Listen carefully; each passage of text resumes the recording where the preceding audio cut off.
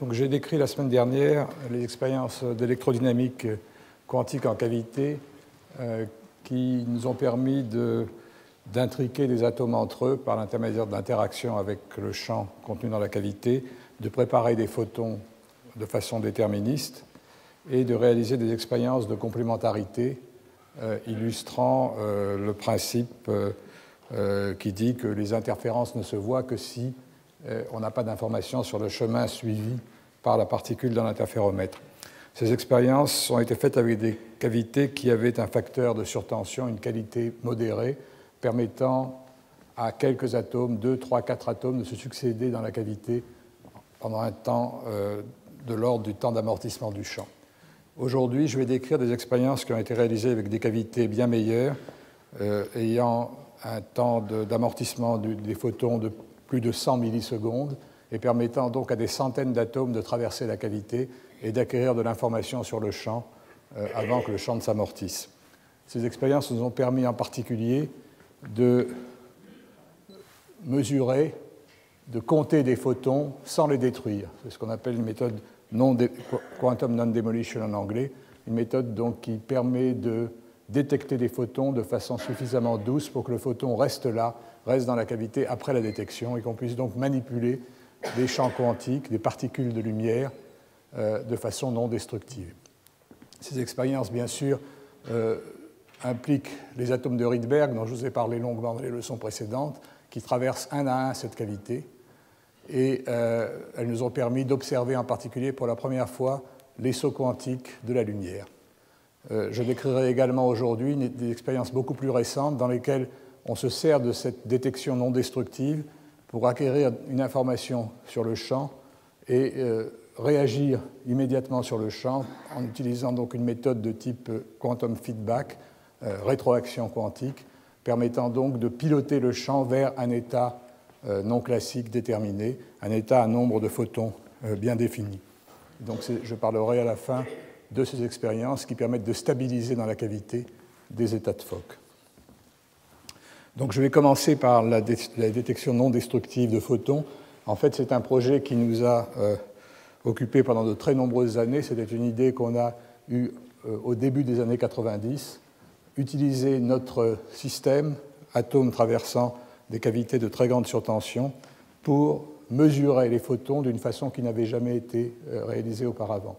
En général, comme nous le verrons, la, mesure des photons est destructive, et, euh, mais ce caractère destructif n'est pas inéluctable. D'après les principes de la physique quantique, on doit pouvoir détecter des photons comme tout système quantique euh, en le laissant dans l'état correspondant au résultat de la mesure après celle-ci. Alors pour cela, on va utiliser une interaction non résonante, dispersive avec des atomes de Rydberg, non résonante parce qu'on ne veut pas que les atomes absorbent ou émettent des photons. Et euh, je vous montrerai que cette expérience illustre les principes fondamentaux de la mesure quantique, le fait que la mesure conduit à une projection de l'état du système sur l'état propre de l'observateur mesuré, l'état correspondant au résultat de la mesure, que euh, ce résultat est aléatoire, c'est-à-dire qu'avant, lorsqu'on a un système quantique, on effectue euh, la mesure sur le nombre de photons, on ne sait pas quel est le nombre de photons qu'on va trouver. On peut simplement euh, prévoir et calculer les probabilités de trouver tel ou tel nombre. Également, un autre résultat important de la théorie de la mesure, c'est qu'elle est répétable, c'est-à-dire qu'une fois qu'on a obtenu un nombre de photons donné, si on recommence la mesure sur le système, on va obtenir le même résultat. Et enfin, quand le système subit une perturbation, euh, parce qu'il est couplé à un environnement extérieur, le nombre de photons peut changer, mais il change de façon aléatoire au cours du temps, et c'est ce qu'on appelle des sauts quantiques. Alors, je reviens d'abord sur l'idée euh, euh, que j'avais évoquée au début, euh, de cet exposé le fait que la détection usuelle de la lumière par effet photoélectrique est destructive. Vous avez une lampe qui émet euh, un faisceau de lumière très très faible qu'on peut décomposer en grains de lumière ou photons. Le détecteur reçoit ces grains de lumière et chaque fois qu'il détecte un photon euh, qui se manifeste par un clic dans le détecteur, en fait ce clic vide le champ. S'il y avait un photon avant le clic, après le clic, le champ est vide. Ceci simplement parce que l'effet photoélectrique consiste à exciter un atome à partir d'un état fondamental et à porter euh, cet atome dans un état où l'électron est libre, l'électron s'échappe et c'est l'électron qu'on détecte. Donc la détection de l'électron signale le fait qu'on avait un photon, mais ce photon a été détruit dans le processus de détection.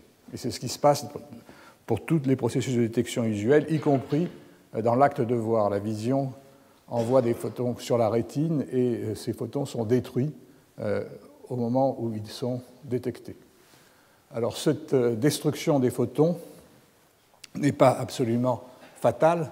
En fait, la physique quantique autorise une observation moins brutale et plusieurs études théoriques au cours des années 70-80 avaient étudié la façon de détecter de façon non destructive la lumière. C'est ce qu'on appelle les méthodes quantum non-demolition. Et de nombreuses expériences ont été réalisées au cours des années 90 où euh, cette détection destructive a été possible, a été observée, mais pas au niveau du photon individuel. On a observé le fait qu'on pouvait détecter une intensité lumineuse correspondant à un grand nombre de photons et euh, sans absorber la lumière, car des détecteurs transparents pouvaient euh, mesurer la lumière sans la détruire. Mais ce que nous voulions, nous, c'est étendre ce principe au niveau du photon unique, c'est-à-dire réaliser une situation où un photon, donnant un clic dans un détecteur de type particulier, laisse le photon derrière lui et où la mesure est répétable un nombre indéfini de fois.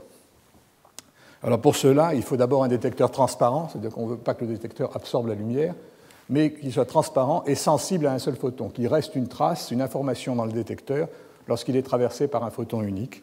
Et une autre condition, c'est qu'on veut être capable de garder ce photon suffisamment longtemps dans l'appareil de mesure pour pouvoir le remesurer. Et pour ça, il nous faut une boîte, une cavité qui maintient le photon en vie très longtemps. Cette cavité, on la possède dans ces expériences, puisque je vous ai décrit longuement euh, les cavités que nous avons développées, en particulier depuis les années, dans, les, dans les six ou sept dernières années, des cavités qui sont capables de garder un photon pendant un temps de l'ordre de dixième de seconde. Alors, on avait prévu euh, cette, cette expérience, on l'avait annoncée on avait fait une proposition d'expérience en 1990, donc mesurer les photons de façon non destructive en utilisant une méthode sensible à la phase, une méthode de détection de la phase pour des atomes de Rydberg. Et donc c'est cette expérience que je vais vous décrire. Et on disait à la fin du résumé du papier qu'avec des systèmes atomes-cavités réalistes, on pourrait mesurer des tout petits nombres de photons jusqu'au vide les préparer et les mesurer de façon continue. Alors en fait, on disait que c'était réaliste, mais à l'époque, nous ne disposions pas des bonnes cavités. Les cavités que nous avions en 1990 avaient un temps de vie du photon de l'ordre de la microseconde ou moins, et maintenant nous avons 100 millisecondes. Donc nous avons gagné 5 ordres de grandeur sur la durée de vie du photon. Ce sont les 50 ordres de grandeur dont je vous ai parlé il y a 15 jours, et c'est cette amélioration au cours des années qui ont suivi ce papier qui nous ont permis de réaliser ces expériences.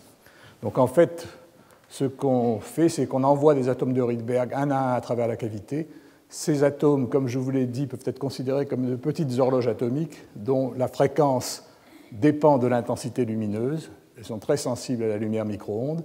Et la détection du retard ou de l'avance prise par ces horloges lorsqu'elles traversent la cavité permettra de compter les photons. Donc j'insiste sur le projet à très long terme. En fait, il s'est passé exactement 16 ans entre le moment où nous avons publié cette proposition et le moment où on a été capable de réaliser cette expérience en 2006. Je vous rappelle que les atomes qu'on utilise sont des atomes de Rydberg circulaires dans lesquels un électron, l'électron de valence est promu sur une orbite circulaire de très grand diamètre. Il tourne sur cette orbite et la condition de quantification, c'est qu'il y a un nombre entier de longueurs d'onde de De Broglie le long de l'orbite circulaire.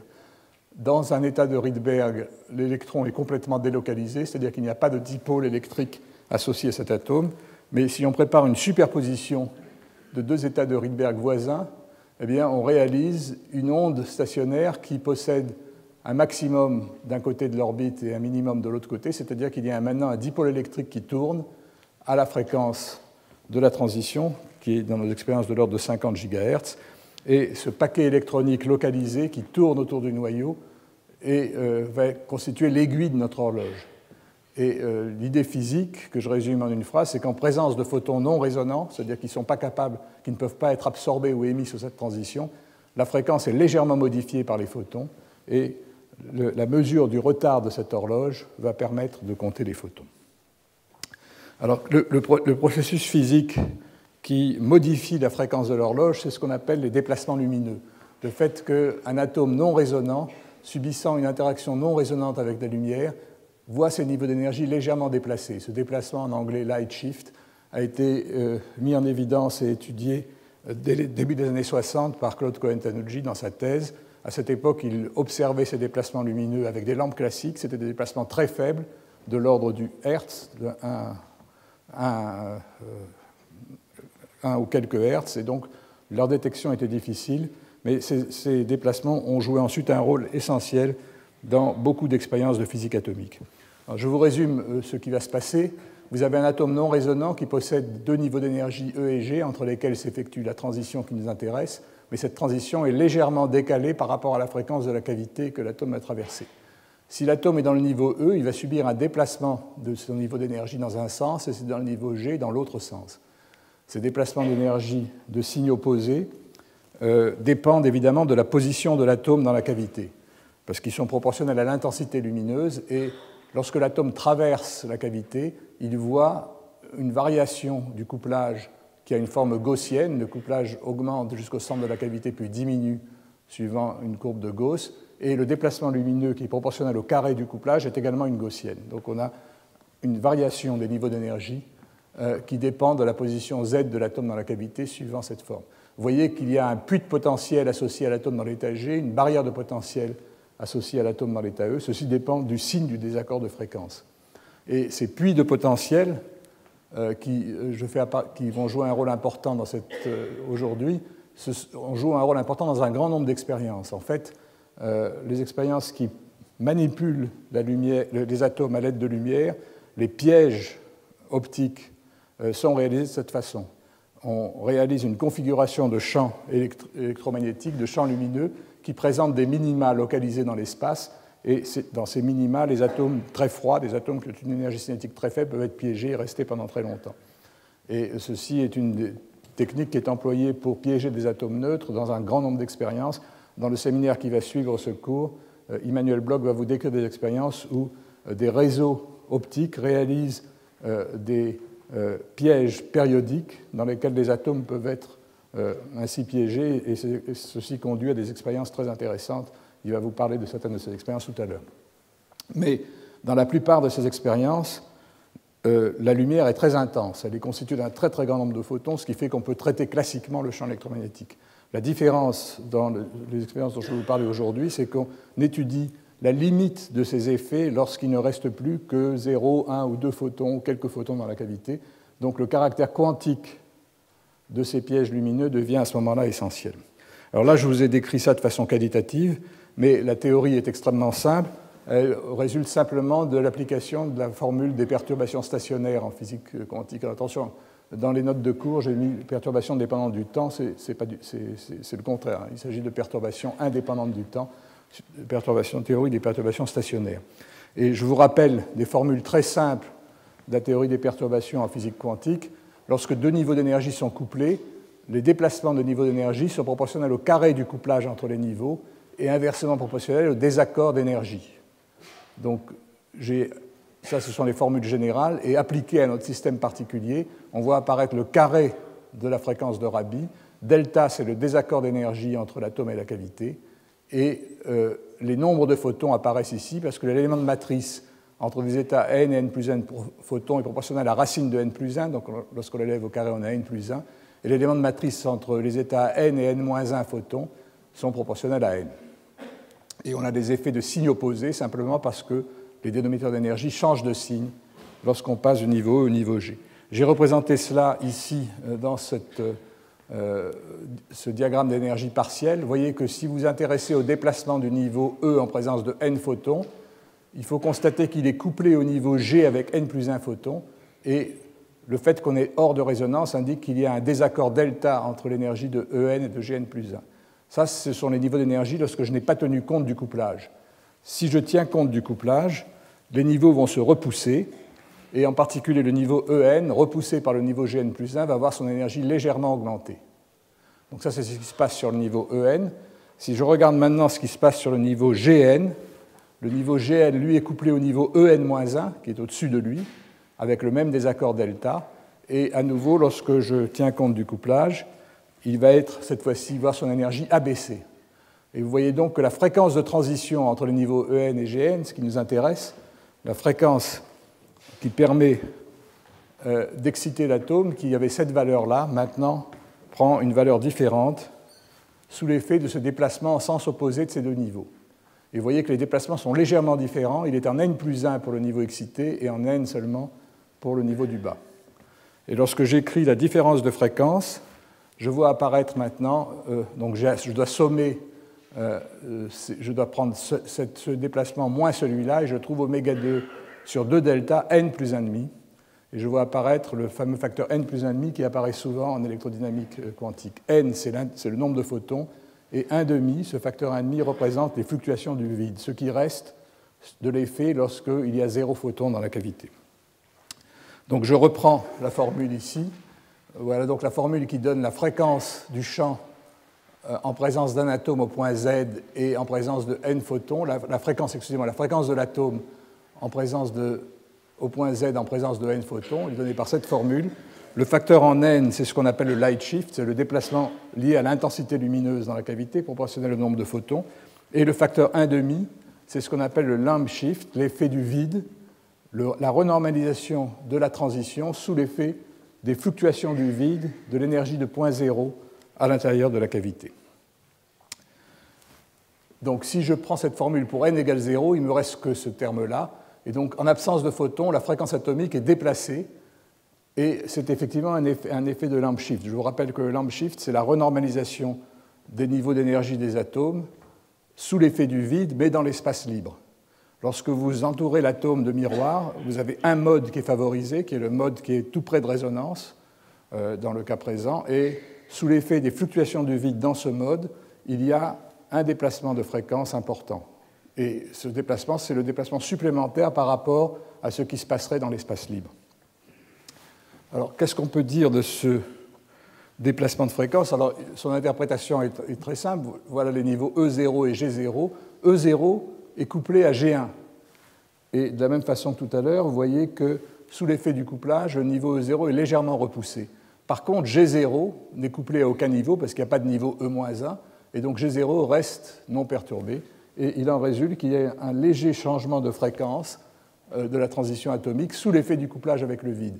Et comme la transition est non résonante, on peut interpréter ce couplage en disant que de façon virtuelle, l'atome va de E0 à G1 et revient à E0 parce que l'énergie n'est pas conservée. Et c'est cette émission et réabsorption virtuelle de photons qui renormalise, qui modifie l'énergie de l'atome dans l'état E et donc la fréquence de la transition.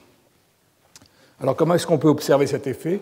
Il faut mesurer, faire de la spectroscopie sur l'atome dans la cavité. Et une façon simple de la faire, c'est de faire des franges de Ramsey, c'est-à-dire de préparer une superposition d'états avant que l'atome n'entre dans la cavité et l'analyser une fois que l'atome a traversé la cavité. Et on mesure donc ce lamp shift par interférométrie Ramsey. Euh, une difficulté, c'est qu'il faut rapporter la fréquence à une référence. Or, il est impossible de supprimer le vide. Par contre, ce qu'on peut faire, c'est changer delta. Et si vous augmentez le désaccord de fréquence delta et le rendez très très grand, l'effet qui est en 1 sur delta va devenir négligeable. Donc, à la limite où le désaccord delta est très grand, on retrouve la fréquence de l'atome non perturbée. Et ce qu'on a fait, c'est qu'on a mesuré ce déplacement de fréquence en fonction de delta.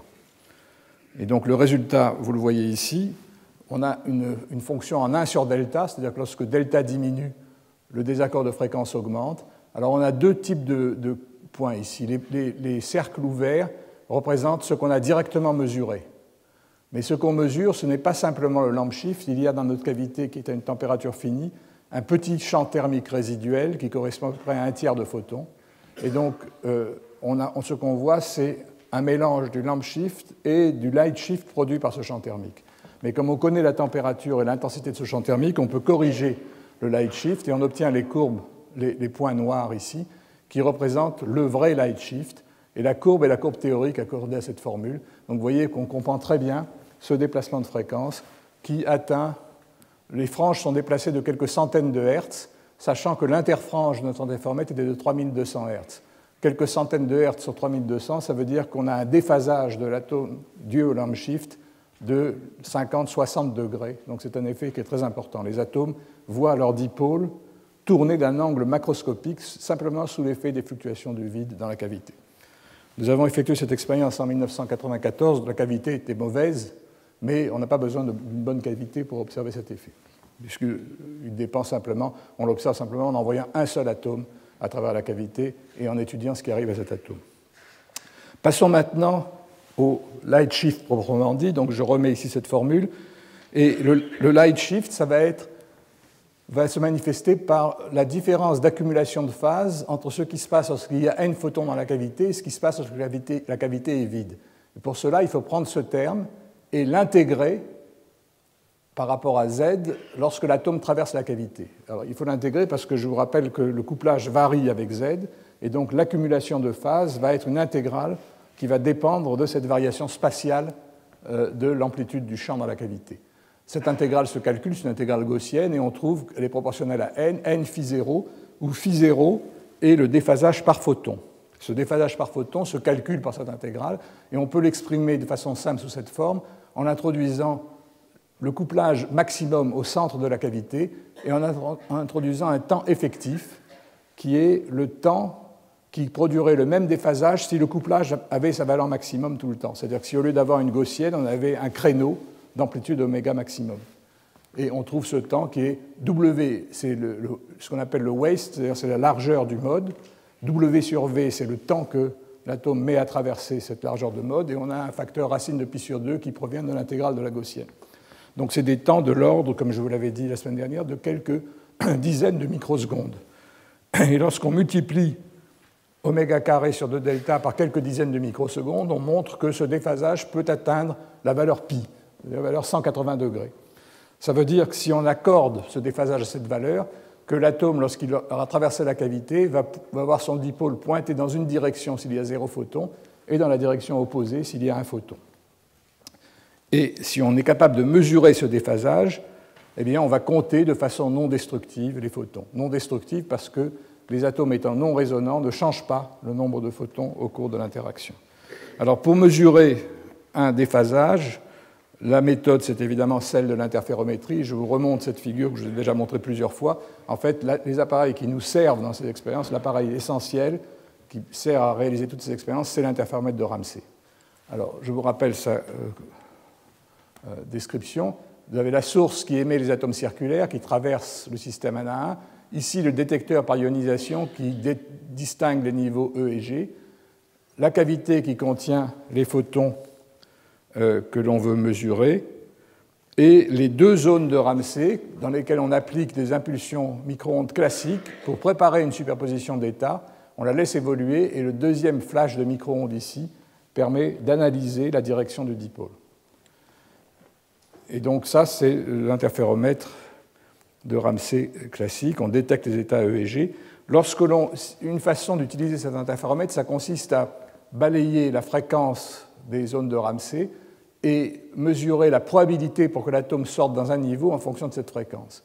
Et on observe alors des franges dont l'interfrange est inversement proportionnelle au temps qui sépare le passage dans les deux zones. C'est l'équivalent d'interféromètre de Young, mais dans le domaine temporel. Et ce sont ces franges qui nous fournissent notre information. Dire qu'on a un déphasage de pi par photon, c'est dire que des franges, les franges bleues que j'ai ici, qu'on observerait si la cavité est vide, sont décalées d'un demi-interfrange si la cavité contient un photon.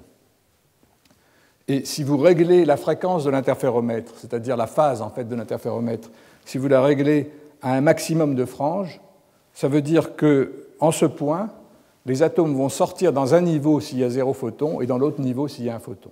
Et donc c'est de cette façon-là que l'interféromètre est capable de voir la différence entre zéro et un photon sans absorber le champ. Euh, une autre façon de décrire l'expérience de façon temporelle, mais c'est la même, c'est une interprétation équivalente, est montrée ici. Donc vous voyez à nouveau les niveaux d'énergie, l'atome dans l'état E, et on va suivre l'histoire de l'atome qui traverse l'interféromètre. Avant d'arriver dans l'interféromètre, il subit la première impulsion euh, de Ramsey dans cette zone, et ceci euh, prépare la superposition des états E et G, c'est-à-dire le dipôle. Donc c'est l'équivalent du déclenchement de l'horloge. C'est comme quand on a un chronomètre, à cet instant-là, on prépare l'aiguille euh, de notre atome dans une direction donnée. Et puis l'atome va traverser la cavité, et en traversant la cavité, il accumule un déphasage due à son interaction non résonante avec le champ de la cavité. Et si on a réglé euh, le déphasage par photon à la valeur pi, suivant que la cavité contient 0 ou 1 photon, le dipôle va pointer dans une direction ou dans la direction opposée à la sortie, ici. Alors qu'est-ce qu'on fait à ce moment-là? On envoie une deuxième impulsion, et le but de cette deuxième impulsion, c'est de réaliser une rotation de notre spin équivalent pour ramener l'un des états vers l'état E et l'autre état dans l'état J. Et vous voyez que maintenant, lorsqu'on va détecter l'atome, on va avoir une corrélation parfaite entre le nombre de photons dans la cavité et l'état de l'atome E ou G.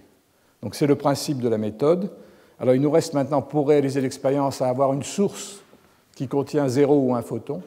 Alors là, on est aidé par la nature, puisque une source qui contient 0 ou 1 photon, c'est simplement les fluctuations du champ thermique à très basse température. D'après la loi de Planck, si la température est très basse, à 0 degré, la cavité est vide, elle contient toujours 0 photon. Si vous avez une température très basse, la cavité va avoir une faible probabilité de contenir un photon. Mais qu'est-ce que ça veut dire? Ça veut dire que si vous suivez, si vous mesurez le champ continuellement, vous allez avoir des sauts quantiques entre 0 et 1 photon se produisant à des instants aléatoires. C'est ce que j'essaye de représenter ici. Euh, vous avez un photon qui apparaît dans la cavité, puis il disparaît, et puis il réapparaît, et donc on a une, fluctuation dans le temps entre les états 0 et 1 photon, sachant que le temps d'occupation de l'état 1 photon est à peu près 5% du temps total. Et pour observer ce photon, on envoie les atomes un à un, et les atomes vont sortir soit dans l'état E, soit dans l'état G. Et simplement, en détectant l'atome dans un niveau ou dans l'autre, on saura s'il y avait au moment où l'atome a traversé la cavité 0 ou un photon. Alors, vous voyez ici le, résultat de cette expérience. Donc, ça, c'est vraiment la première expérience où on a mesuré son onde destructive. Euh, euh, ce photon, c'était euh, la thèse de Sébastien Glaise, qui est ici dans la salle, que je vois dans le fond, et en 2006. Et ce, signal a été observé vraiment dans les dernières in extremis, puisqu'il devait soutenir sa thèse à la fin du mois de septembre. Et on a observé ce signal le 11 septembre. Donc il n'est pas rédigé dans sa thèse, qui avait été déjà prête, mais euh, il a constitué donc le résultat essentiel de ce travail de thèse. Vous allez voir ce qui se passe en temps réel. Vous avez ici euh, l'échelle des temps en secondes, et une barre rouge représente un atome qui sort dans l'état E, une barre bleue un atome qui sort du système dans l'état G. Donc voilà le type de signal qu'on observe.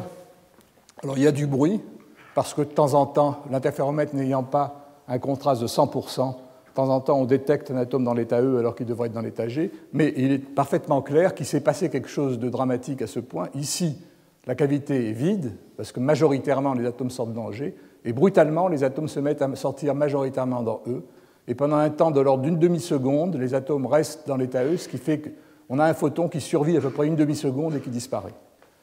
Alors, euh, vous allez me dire, une demi-seconde, c'est très long par rapport aux 100 millisecondes ou 130 millisecondes de la durée de vie, mais il ne faut pas oublier que c'est un phénomène aléatoire, et dans une loi exponentielle qui a une, euh, dans laquelle le temps de vie moyen est de 130 millisecondes, certains événements peuvent correspondre à une durée de vie beaucoup plus longue. Et là, on a choisi, parce que c'est plus dramatique de le montrer comme ça, un événement où le photon a survécu particulièrement longtemps.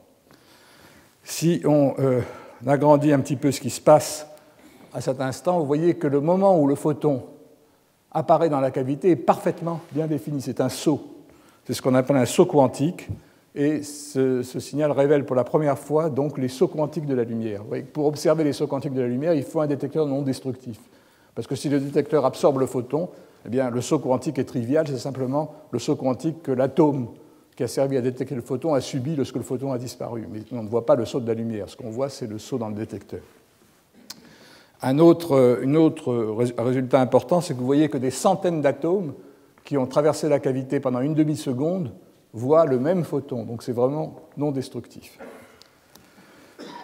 ensuite, on a essayé de généraliser cette expérience à des champs plus grands. Est-ce qu'on peut compter plus qu'un photon? Pour cela, il faut d'abord injecter un champ qui contient plus qu'un photon dans la cavité. Et la façon dont on l'a fait est extrêmement simple. On a injecté à l'aide d'un petit guide d'onde on a envoyé une bouffée de micro-ondes qui, était un champ classique, puisque la source de ce champ micro-ondes était une source classique, un courant oscillant dans, une source euh, de micro-ondes. Et euh, une telle impulsion classique a une distribution poissonienne du nombre de photons. C'est la fameuse formule de Glauber qui a montré que des champs cohérents avaient des distributions euh, du nombre de photons. Il y a une incertitude sur le nombre de photons, une incertitude quantique, qui est liée au fait qu'un champ cohérent a une phase bien définie. Et il y a une relation d'incertitude entre la phase et le nombre de photons. Si la phase est bien définie, le nombre de photons doit être euh, flou. Donc on envoie un champ dans la cavité qui contient un nombre de photons compris dans cette expérience que je vous décris entre 0 et 7. Alors, au bout d'un temps très court, on coupe la source de micro-ondes. Un certain nombre de photons ont été capturés dans la cavité par diffraction sur les bords des miroirs. Et pendant un temps de l'ordre d'un dixième de seconde ou un peu plus, ces photons restent dans la cavité. Et on peut mesurer ce champ si on est capable d'envoyer un grand nombre d'atomes les uns derrière les autres dans la cavité. Et euh, l'expérience, donc, comme je vais vous le montrer, illustre, comme je l'ai dit tout à l'heure, tous les principes fondamentaux d'une mesure idéale en physique quantique. Alors, comme on reprend l'expérience comme tout à l'heure, mais maintenant on veut compter n photons. Alors, pour compter jusqu'à 7 photons, on doit distinguer 8 nombres de photons différents, 0, 1, 2, 3, 4, 5, 6, 7, et on choisit donc un déphasage par photon égal à pi sur 4. Ce qui est plus facile qu'un déphasage de pi. Un déphasage plus petit, il suffit de faire un désaccord de fréquence plus grand entre l'atome et la cavité. Et on fait l'expérience de la même façon. Le premier atome arrive, il subit son impulsion qui prépare la superposition d'états, et puis il accumule une, euh, une, phase en traversant la cavité. Et maintenant, suivant le nombre de photons, vous voyez que le dipôle va être orienté dans huit directions différentes, correspondant au nombre de photons, nombre de 0 à 7. Ensuite, l'atome sort et on envoie une deuxième impulsion et cette deuxième impulsion, qu'est-ce qu'elle va faire? Elle va prendre deux états orthogonaux, par exemple l'état à 0 et à 4 photons, et transformer l'état à 0 photons dans un état d'énergie donné et l'état à 4 photons dans l'état d'énergie opposé. Donc si la question qu'on posait était y a-t-il 0 ou 4 photons, un atome répondrait à la question de façon non ambiguë. Le problème ici, c'est que vous avez beaucoup d'autres nombres de photons possibles, par exemple 6 photons, et si, si le champ contient 6 photons, le, deuxième pulse va transformer l'état de l'atome en une superposition de E et de G. Et on va détecter aléatoirement E ou G, donc on ne saura pas ce qui se passe. ceci, ça revient à dire de façon très simple que, comme la mesure donne une information binaire, elle ne peut pas déterminer avec un seul atome, euh, donner une réponse euh, qui est une réponse multiple finalement. Donc il faut procéder de façon plus euh, subtile. Et en fait, ce qu'il faut faire, c'est envoyer les atomes un à un et chaque atome va nous fournir une information partielle, et au bout d'un certain nombre d'atomes, on va pouvoir focaliser le nombre de photons sur un nombre bien défini. J'ai résumé sur la transparence suivante ce que fait euh, le premier atome qui traverse la cavité. Donc voici les huit directions du dipôle, euh, équivalent à la direction d'un spin dans un plan, et on a choisi le déphasage égal à pi sur 4. Alors il faut, lorsque l'atome est détecté, au départ, on ne sait pas du tout quel est le nombre de photons, donc la distribution du nombre de photons donne un histogramme plat. On n'a aucune information sur n lorsqu'on commence l'expérience. On a le choix d'un paramètre qui est la phase de l'interféromètre. En choisissant la, différence de phase entre les deux zones de Ramsey, on choisit en fait la direction qui va être reportée sur l'axe des énergies, sur les états de spin E ou G, par le deuxième pulse de Ramsey.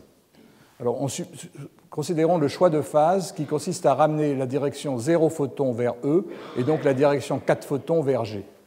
On choisit cette direction de phase et donc là il y a un long raisonnement que je suis en train de vous faire oralement. On va détecter l'atome. Et qu'est-ce qui va se passer Si on trouve l'atome dans l'état E, ça veut dire que le spin, l'équivalent, le spin atomique équivalent, pointait dans la direction de 0 photon.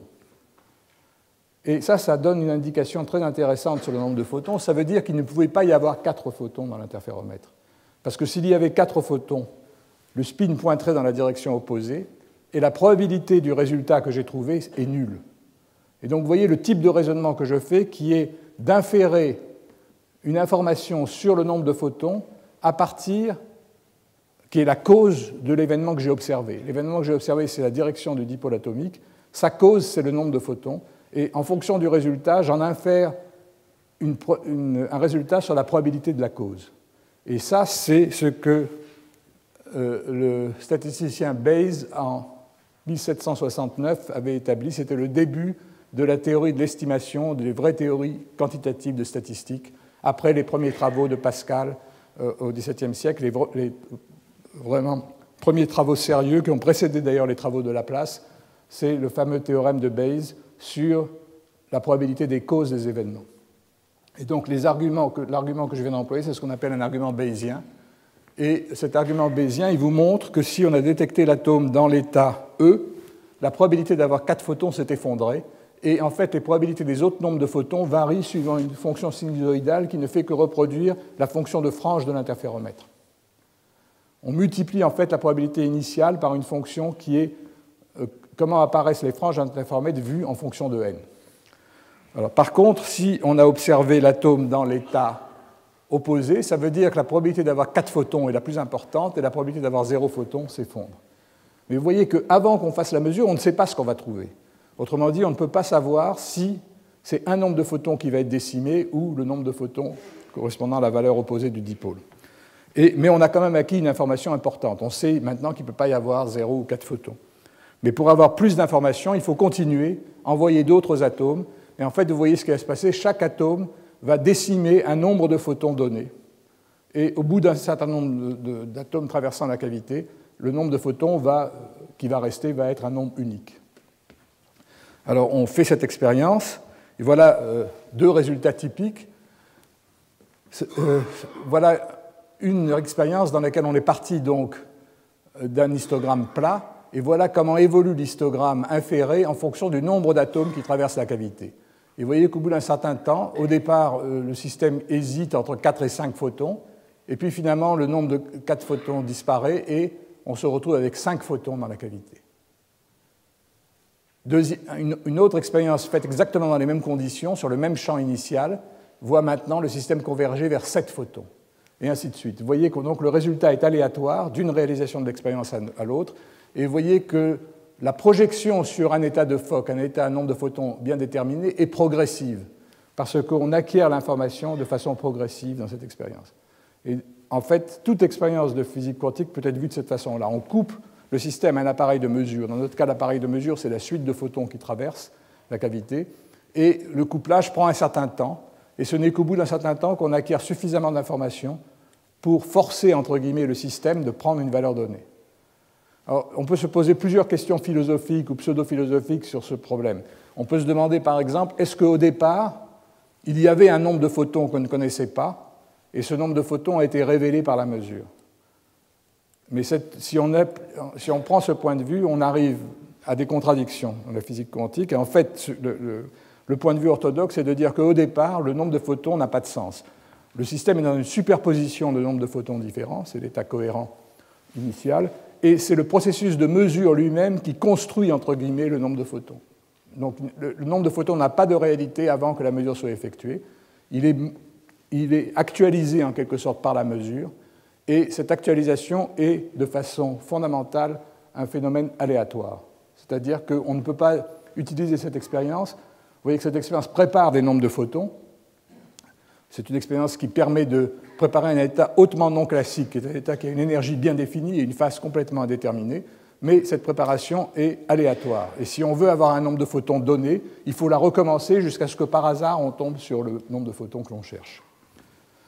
Alors si vous faites un très très grand nombre d'expériences de ce genre, vous pouvez reconstruire l'histogramme du nombre de photons dans l'état initial et on retrouve la loi de Poisson. Voilà donc l'histogramme du champ qu'on avait mesuré. Et euh, vous voyez qu'on euh, on retrouve de façon expérimentale qu'un champ cohérent a une distribution poissonienne du nombre de photons. Alors il y a un peu de bruit, parce que pour des tas de raisons d'imperfection, mais vous voyez très clairement euh, qu'on a une loi de Poisson. Il y a un autre défaut apparent, vous voyez qu'il y a un excès de zéro photon. L'explication est simple, c'est qu'en fait, j'ai arrêté à 7, mais il y avait une faible probabilité qu'il y ait 8 photons dans le système, que je ne peux pas mesurer parce que j'ai limité mon système à un, cadran qui est, euh, calibré de 0 à 7. Mais s'il y a 8 photons, le déphasage est le même que 0, parce qu'on mesure modulo 8. Un peu comme vous avez une montre qui est un cadran qui va de 0 à 12, quand vous avez 3, vous ne savez pas si vous êtes à 3 heures du matin ou 3 heures du soir. Eh là, c'est la même chose. Si vous avez 0 ou 8 photons, vous avez le même résultat. Et donc, c'est parce qu'on a replié cet histogramme qu'on a un excédent euh, pour 0 photons. Autre remarque, cette expérience ne dit rien sur les euh, relations de cohérence entre les amplitudes de probabilité d'avoir des nombres de photons différents. Elle ne dit rien sur les cohérences quantiques entre des états à nombre de photons différents. Et ces cohérences quantiques sont essentielles pour décrire la phase du champ, l'aspect ondulatoire du champ. Donc en faisant cette expérience qui mesure l'énergie, je focalise mon attention sur l'aspect corpusculaire du champ, mais je ne sais rien sur l'aspect phase. Et les expériences qui décrivent la phase du champ et ce qu'on peut lui faire, comment on peut la manipuler, je les décrirai la semaine prochaine. Alors on peut faire bien d'autres choses avec cette expérience. On peut en particulier continuer à mesurer après que le système ait été projeté sur un état de Fock. Alors voilà le résultat d'une longue mesure, une seule séquence de mesure. On part d'un histogramme plat, parce qu'on ne sait pas combien il y a de nombre de photons. Dans une première phase de l'expérience correspondant à la traversée de quelques dizaines d'atomes, vous voyez que le système projette, la mesure projette l'état du champ ici sur l'état à 5 photons. Et cet état à 5 photons, si vous continuez à mesurer, le système reste dans l'état à 5 photons. Donc ça, c'est euh, le, postulat de la mesure lié au caractère répétable du résultat. Une fois que vous avez obtenu un nombre de photons donné, vous le retrouvez. Ça devient, vous le remesurez, donc il, n'y a plus de caractère aléatoire une fois que vous avez projeté dans un état un nombre de photons bien défini. Alors ceci, ça dure pendant un certain temps, mais comme la cavité n'est pas parfaite, tout à coup, des photons vont disparaître. Et vous voyez que la disparition des photons se manifeste par une variation brutale de l'histogramme qui évolue entre 5, 4, 3, 2, 1 et le vide. Et ceci, cette suite de sauts, euh, cette suite d'évolution brutale, c'est ce qu'on appelle les sauts quantiques. Et vous voyez que lorsqu'on mesure, la décroissance d'un champ s'effectue de façon stochastique. Alors que classiquement, les lois en électromagnétisme classique, si vous mettez un champ dans une cavité, ce à quoi vous attendez, c'est que l'intensité du champ décroît exponentiellement de façon continue cette décroissance exponentielle continue, vous l'observerez si vous réalisez un grand nombre de résultats et moyennez l'ensemble des résultats. Mais si vous suivez sur chaque trajectoire, vous allez avoir des sauts quantiques discrets. Donc on réalise de cette façon-là expérimentalement ce qu'on appelle une trajectoire du champ quantique. Alors voilà maintenant exprimé en nombre de photons, des trajectoires qui vous montrent ce qui peut se passer. Voilà un système qui a évolué vers 5 photons et qui décroît en marge d'escalier vers le vide. Ici, vous avez 7 photons qui décroissent en marge d'escalier vers le vide. Et vous voyez le caractère aléatoire. Les, durées des marches varient dans une réalisation de façon très importante. Ici, vous avez une marche à un photon qui est relativement courte. Et ici, vous avez une marche à un photon très longue. Ici, vous voyez quatre réalisations qui décrivent la décroissance d'un champ à 4 photons. Et vous voyez que la structure des marches d'escalier varie beaucoup d'une réalisation à l'autre. Vous avez même, dans certains cas, des remontées possibles. La remontée, c'est lié au fait que vous n'êtes pas à 0 degré, et donc il y a un petit champ thermique qui, peut, qui veut dire que de temps en temps, un photon peut apparaître avant de disparaître. Alors, je voudrais euh, profiter de cela pour faire une remarque. Donc, on a analysé statistiquement, euh, en analysant des milliers de trajectoires de ce genre, on peut faire beaucoup de choses. On peut analyser en particulier, déterminer la durée de vie moyenne d'un état d'une des d'escalier. Il suffit, dans toutes ces expériences, de prendre par exemple la marge d'escalier à un photon. Vous voyez qu'ici, elle est courte, là, elle est un peu plus longue. Là, elle, a cette durée-là. Ici, elle est très longue. Et puis, vous pouvez faire ça pour toutes les durées des marges d'escalier. Et ce qu'on obtient lorsqu'on fait ce genre de cette analyse, c'est qu'on trouve que la durée de vie, c'est un résultat euh, qui était bien connu théoriquement, mais que la durée de vie de l'état à n photons, est exponentielle, c'est-à-dire que la distribution des lois de probabilité est une loi exponentielle, avec une constante de temps pour l'état n photons, qui est la durée de vie du champ dans la cavité divisée par n. Donc on trouve que plus l'état a un nombre de photons élevé, plus sa durée de vie est courte. Le temps de disparition d'un photon dans un état n photons varie en 1 sur n. Alors ça, ça peut être vu comme une conséquence directe des relations, de la relation de Heisenberg entre le temps et l'énergie. Et je vous en parle parce que je vous rappelle que dans la première leçon, je vous avais dit que la boîte à photons euh, qui rappelle nos expériences que Bohr et Einstein avaient imaginées dans les années 20 avait été précisément euh, imaginée pour essayer de mettre en défaut la relation d'Eisenberg entre le temps et l'énergie. On mesure le temps avec précision le temps qu'un photon passe dans la cavité et on mesure avec précision son énergie et on essaie de montrer que delta E delta T est plus petit que h bar. Eh bien, ce que cette expérience montre, c'est qu'en fait, delta U, delta T est exactement égal à la valeur h bar. Comment est-ce qu'on peut euh, euh, montrer ça? Quelle est l'incertitude d'énergie sur un photon? Un photon, quand vous mesurez son énergie dans notre cavité, il est clair que son énergie est connue à oméga sur Q près, puisque oméga sur Q, c'est par définition la largeur du mode correspondant à euh, un facteur de surtension Q. Et donc l'énergie de ce photon est connue à h bar oméga sur Q près. Mais qu'est-ce que c'est que oméga sur Q? Oméga sur Q, c'est euh, le temps TC, le temps d'amortissement du champ dans la cavité. Si vous avez n photons, l'énergie des n photons est connue à h bar n oméga sur Q près. Donc l'incertitude delta E sur les n photons, c'est h bar n sur Tc. Et donc vous avez delta En, delta Tn égale h bar égale h bar n sur Tc fois delta Tn. Et vous voyez qu'en résolvant cette équation, vous trouvez que delta Tn est égal à, n sur, est égal à Tc sur n. Donc l'incertitude sur la durée de vie du photon est précisément donnée par ce qu'on attend euh, par les relations d'Eisenberg. Donc il n'y a pas de... Euh, cette expérience est en accord complet évidemment avec l'interprétation euh, bien connue de la physique quantique. On a été plus loin dans l'analyse et je vais vous montrer ici la dernière chose qu'on a faite. On a pris un très grand nombre de trajectoires et on a regardé à un instant donné on est parti d'un état cohérent qui contenait à peu près trois photons, et on a regardé au cours du temps comment évolue la probabilité d'avoir des, nombres de photons compris entre 0 et 7. Alors, cette probabilité, c'est une probabilité statistique, c'est-à-dire qu'on regarde sur un grand nombre de trajectoires, on mesure à un instant donné à quel niveau on se trouve de la marge d'escalier, et on regarde quelle est la distribution des marges d'escalier, des hauteurs de marge d'escalier à un instant donné cette probabilité statistique réalisée sur un grand nombre de trajectoires, il ne faut pas la confondre avec les probabilités inférées sur une seule trajectoire que je vous donnais tout à l'heure. Les probabilités inférées, c'est quelle est la connaissance que j'ai dans cette réalisation de l'expérience en fonction du nombre d'atomes que j'ai mesurés, et ça va toujours converger vers une fonction de delta, vers un nombre de photons donné. Ici, c'est complètement différent. Là, je regarde statistiquement sur un grand ensemble de trajectoires quelle est la probabilité à un instant donné d'avoir 0, 1, 2, 3, 7 photons vous voyez par exemple qu'au départ, euh, comme on a en moyenne trois photons, c'est évidemment la statistique verte ici, à trois photons, et la statistique bleue à deux photons qui correspondent aux valeurs les plus grandes. Et puis quand vous attendez, ben, vous voyez que les probabilités d'avoir les différents nombres de photons varient au cours du temps. Et évidemment, à la fin, c'est la probabilité d'avoir zéro photon qui domine, puisqu'on va se retrouver finalement dans le vide. Et si vous coupez cette courbe par une ligne verticale, vous allez déterminer en fonction du temps quelle est la loi, comment la loi de Poisson initiale a évolué. vous voyez qu'au départ, vous avez une belle loi de Poisson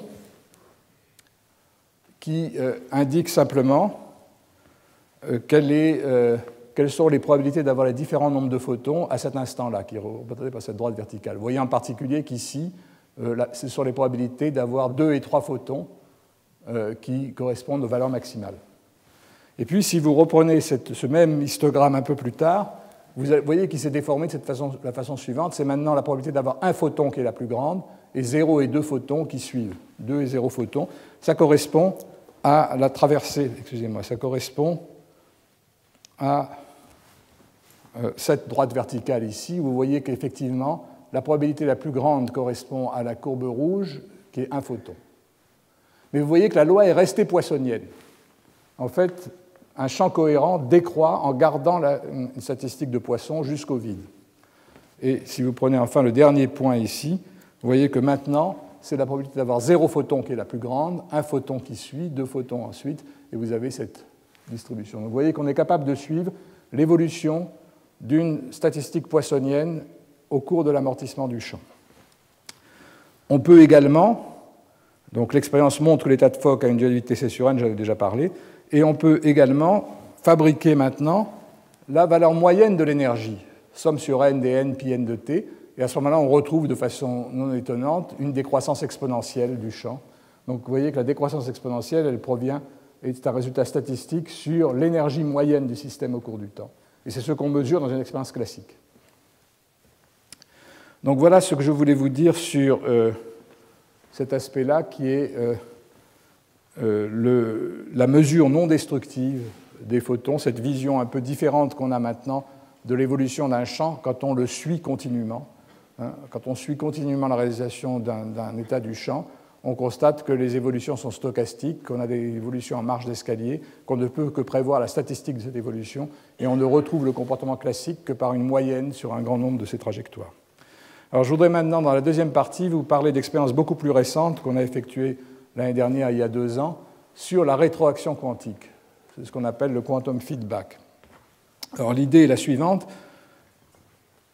Si on mesure le champ de façon non destructive, on acquiert une information sur le champ, est-ce qu'on ne peut pas se servir en temps réel de cette information pour réagir sur le système et le forcer à aller vers une direction déterminée? Par exemple, est-ce si on est capable, au fur et à mesure qu'on effectue une, une, expérience de mesure non destructive du champ, au fur et à mesure qu'on acquiert de l'information, est-ce qu'on ne peut pas modifier l'état du champ pour le forcer à aller non pas de façon aléatoire vers n'importe quel nombre de photons, mais vers un nombre de photons bien défini, euh, bien défini au départ? Alors ça, c'est quelque chose qui, en physique classique, en technologie classique, est bien connu, c'est ce qu'on appelle le feedback, la rétroaction, et tous les systèmes de la technologie moderne sont basés sur ce type de fonctionnement. La régulation de la température d'une pièce ou la régulation de la vitesse d'une voiture se fait de cette façon-là. On mesure le paramètre qui nous intéresse, on le rapporte à une valeur de référence et on modifie, euh, on réinjecte dans le système un signal qui va nous rapprocher du signal de référence.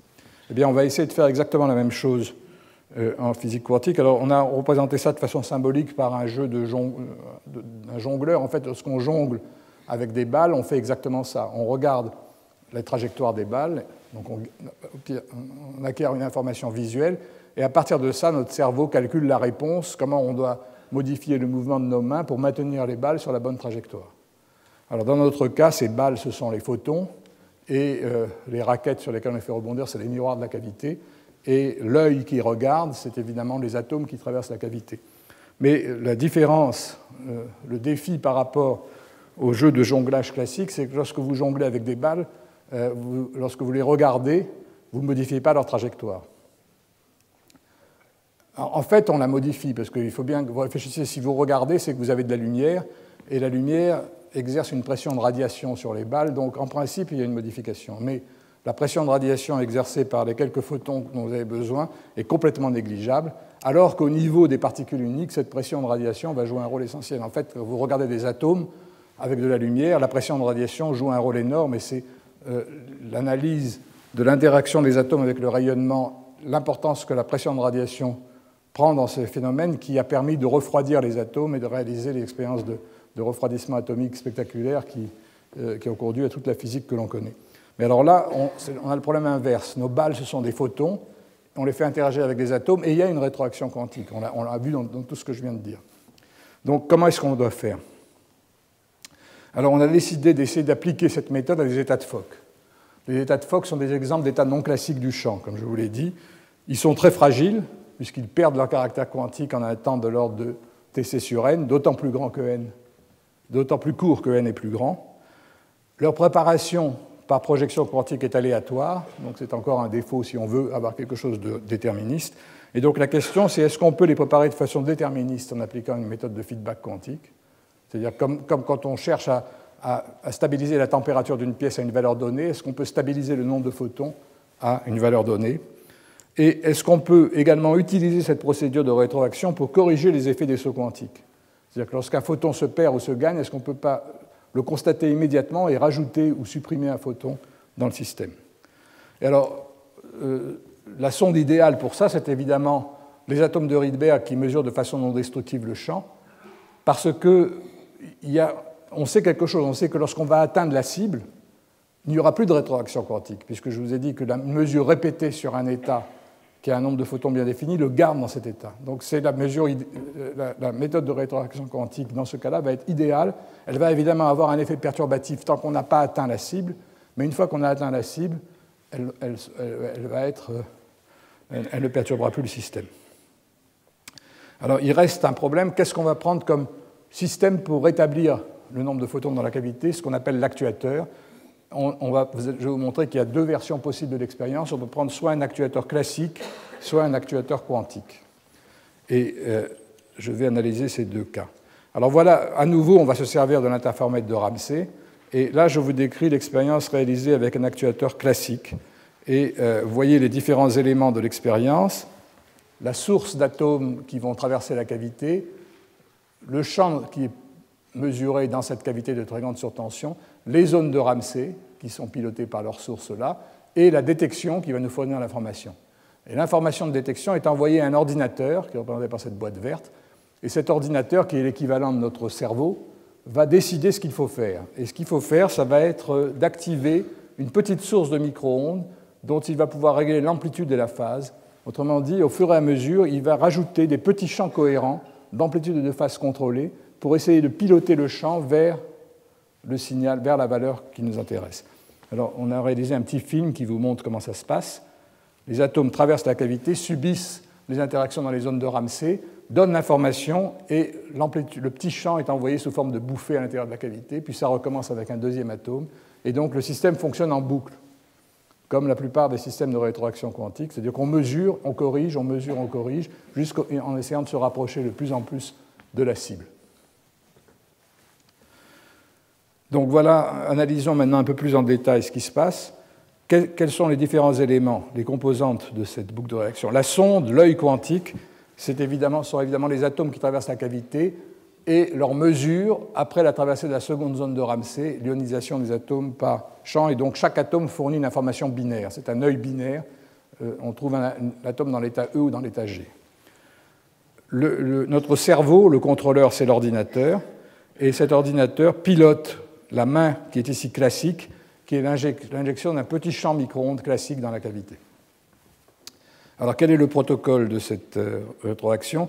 On commence par injecter un petit champ initial dans la cavité dont on fixe l'amplitude pour qu'il contienne en moyenne le nombre de photons qui nous intéressent. On a intérêt à partir d'un champ qui contient à peu près le nombre de photons qu'on veut, par exemple 3, 4 photons.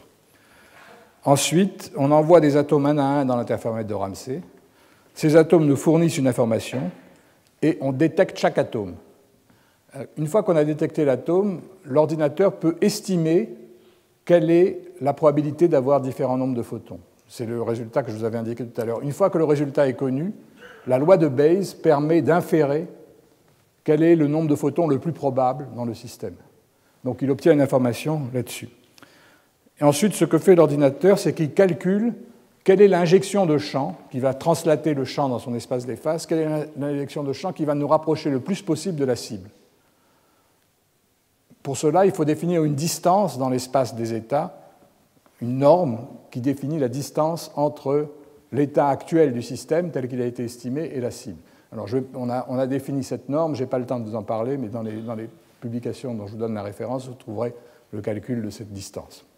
Donc l'ordinateur calcule la distance à la cible et calcule l'amplitude du champ qu'il faut injecter pour se rapprocher au mieux de cette cible. Et puis, il ordonne à la source d'injecter le champ en question et il calcule le résultat de cette injection déterministe programmée sur l'état du champ. Et donc il obtient une nouvelle estimation de l'état du champ après cette euh, translation. Et puis on répète la boucle jusqu'à ce que la distance à la cible s'annule.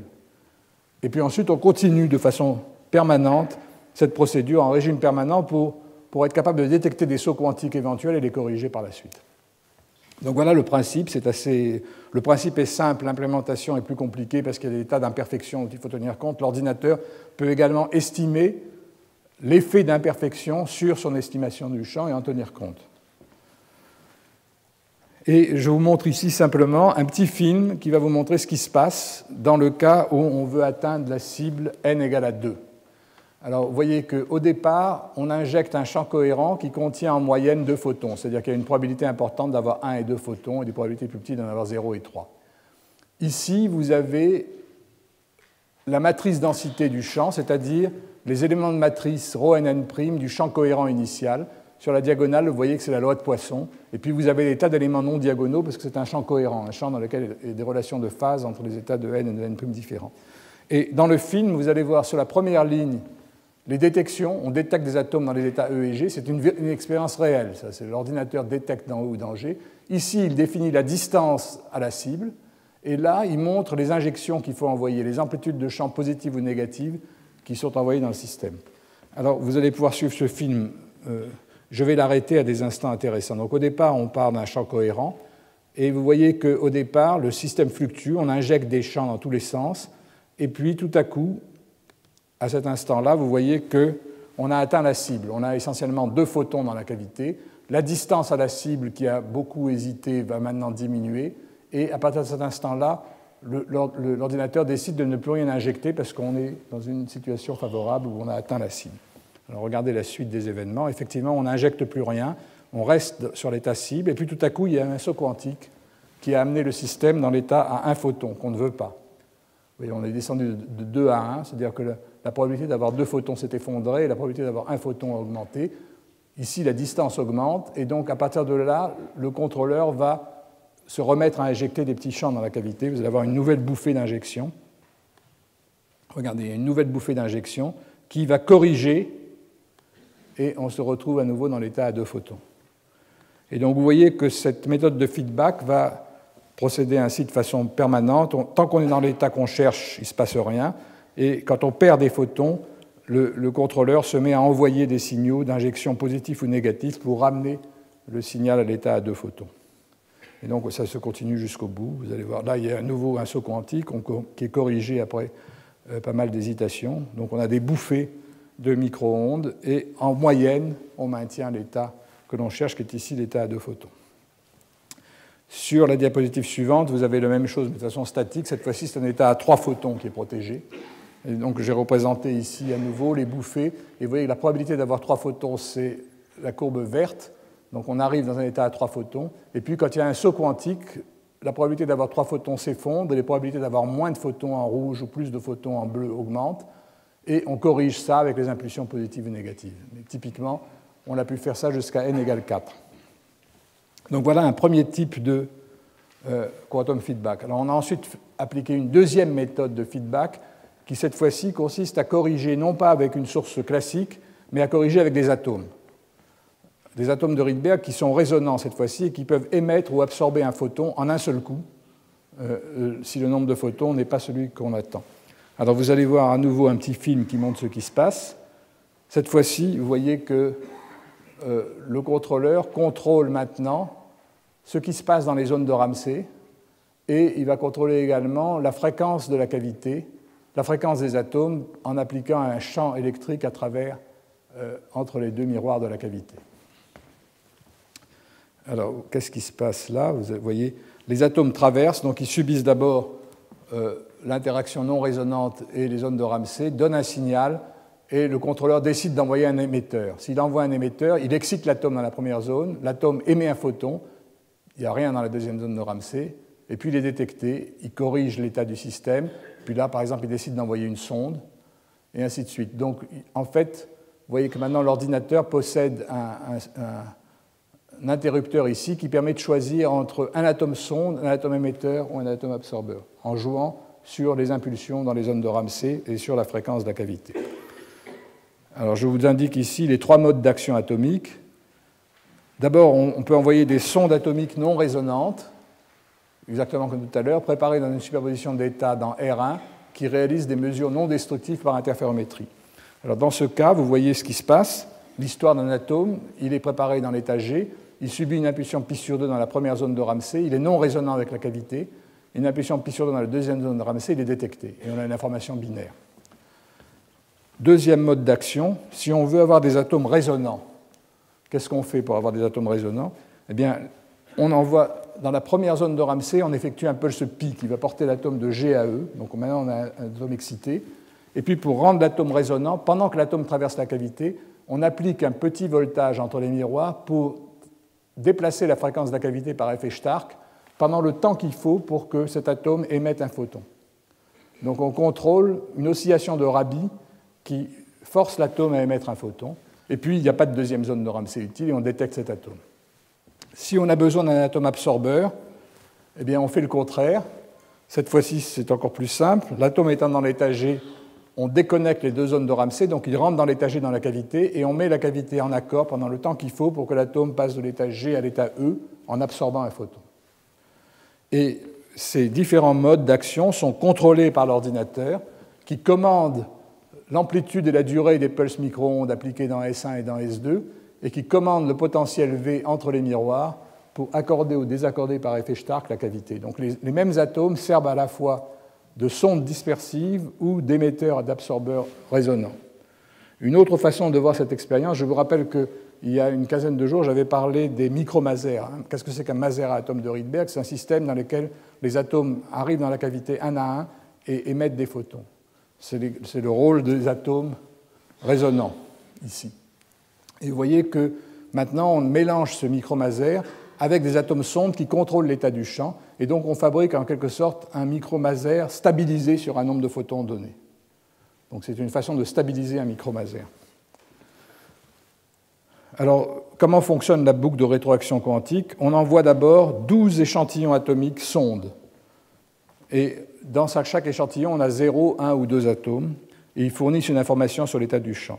Et puis on envoie 4 échantillons de contrôle dans lesquels l'ordinateur décide au mieux soit d'envoyer un atome émetteur, c'est ce que me représenter en rouge, soit un atome absorbeur, je vais représenter en bleu, soit si le nombre de photons est ce qu'il veut, un atome sonde, simplement pour acquérir plus d'informations sans changer le nombre de photons. Alors pourquoi est-ce qu'on envoie beaucoup de sondes? Parce qu'il faut plusieurs atomes pour acquérir une information sur le nombre de photons. Donc on envoie plusieurs atomes pour, pour affiner la connaissance qu'on a du nombre de photons dans le système. Par contre, une fois qu'on veut corriger, comme chaque atome va émettre ou absorber un photon d'un coup, en principe, un ou deux atomes sont suffisants. Si le premier atome n'a pas vraiment fait un pulse pi, on en envoie un deuxième. Donc il faut moins d'atomes euh, de, de, contrôle que d'atomes sondes. Et puis on referme la boucle. Et c'est l'ordinateur qui décide par un algorithme bayésien à nouveau, qui estime l'état du système au cours du temps, décide ce qu'il faut faire et pilote l'ensemble de l'expérience en boucle.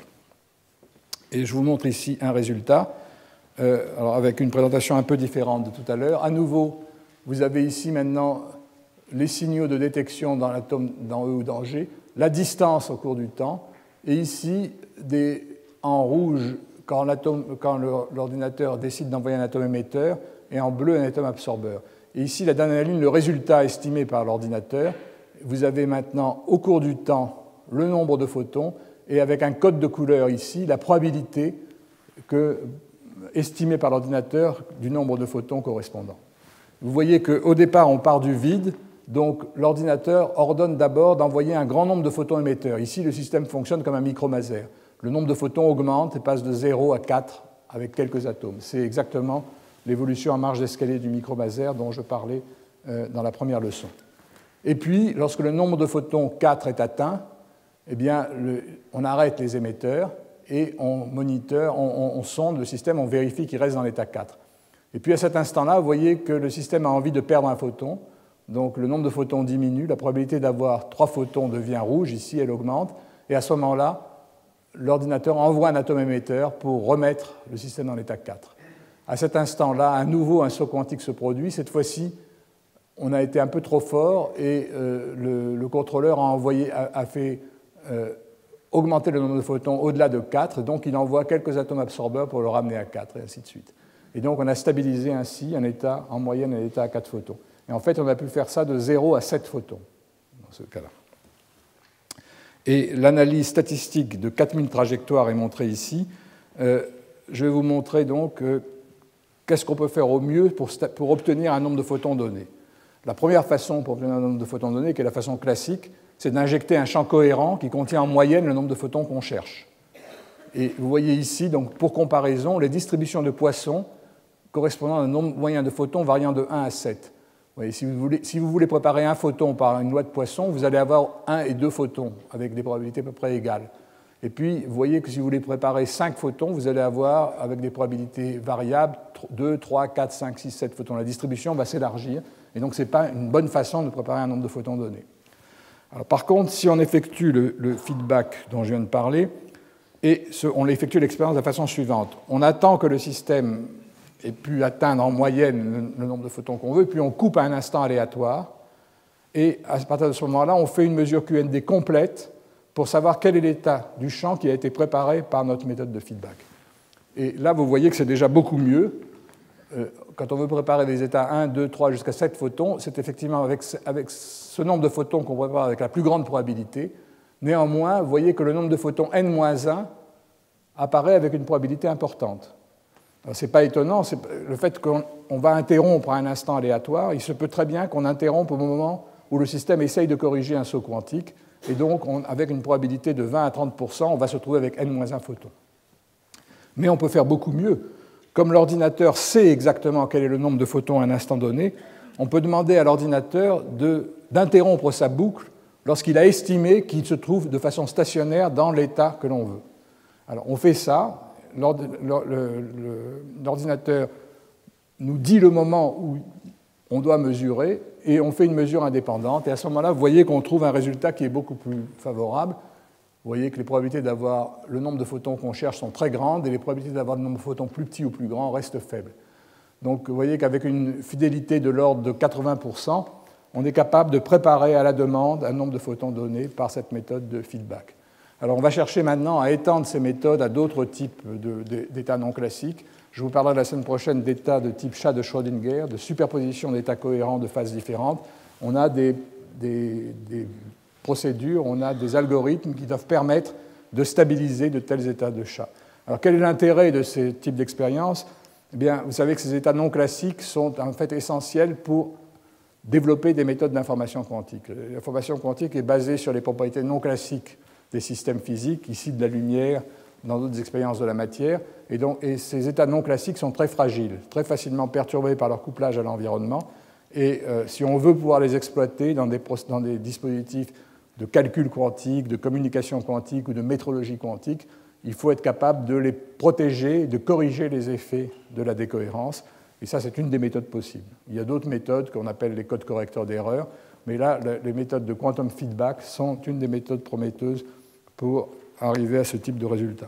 Dernier exemple, pour s'amuser un petit peu, on a pu programmer dans ces expériences l'état cible en le changeant de façon aléatoire, de euh, façon préprogrammée, dire par exemple qu'on veut avoir dans la cavité successivement des états à 3, 1, 4, 2, 6, 2, 5 photons. Et on change donc les paramètres du feedback et vous voyez que le système suit en marge d'escalier, qu'on est capable de programmer une suite prédéterminée de nombre de photons dans la cavité. Donc c'est à peu près ce que je voulais vous dire aujourd'hui. Je vais conclure en disant que euh, toutes les expériences que je vous ai décrites aujourd'hui, qui, ont été réalisées dans les années euh, entre 2006 et maintenant, sont des expériences qui, euh, comme elles comptent et contrôlent un nombre de particules dans la cavité, mettent l'accent sur l'aspect corpusculaire du champ, mais ne disent rien sur son aspect ondulatoire, en particulier sur les propriétés de cohérence au sens classique du champ. Dans la leçon suivante, je décrirai des expériences qui portent précisément sur ces propriétés de cohérence. Je montrerai en particulier qu'on peut. Euh, d'abord, qu'est-ce que c'est qu'un état cohérent exactement? Quel est, son, quel est son, intérêt euh, en termes d'état qui a une phase bien définie? Et comment est-ce qu'on peut préparer des états qui sont des superpositions d'états de phases différentes, ce qu'on appelle les fameux états Schrödinger Comment est-ce qu'on peut étudier ces états, voir comment leur cohérence quantique se perd en cours du temps, ce qu'est le phénomène de décohérence et euh, comment est-ce qu'on peut reconstruire l'état quantique de ces systèmes de façon complète. ce sont des expériences, certaines de ces expériences ont été réalisées avec des cavités de Q modérées. En fait, la première expérience de Schrödinger, nous l'avons réalisée en 1996 avec une cavité qui ne permettait que le passage de deux ou trois atomes successivement, et on a pu faire une expérience de démonstration de ces chats, mais les expériences les plus spectaculaires ont été faites à partir de 2006, lorsqu'on a pu analyser ces états avec des centaines d'atomes traversant la cavité par la suite. Donc je vous décrirai ces expériences la semaine prochaine. Et euh, dans la dernière leçon, donc le 16 avril, j'essaierai de relier toutes ces expériences d'électrodynamique quantique en cavité avec d'autres travaux effectués sur d'autres systèmes, en particulier avec les ions piégés, euh, euh l'expérience de David Wineland et de collègues, où je vous montrerai qu'il y a, une, malgré la différence de technologie, une grande similitude dans les principes et dans la façon dont, dans, dans les, les méthodes euh, théoriques d'analyse et de préparation des systèmes. Et je parlerai également de l'analyse de la physique des circuits, euh, ce qu'on appelle circuit de QED, qui également emprunte beaucoup à l'électrodynamique en cavité.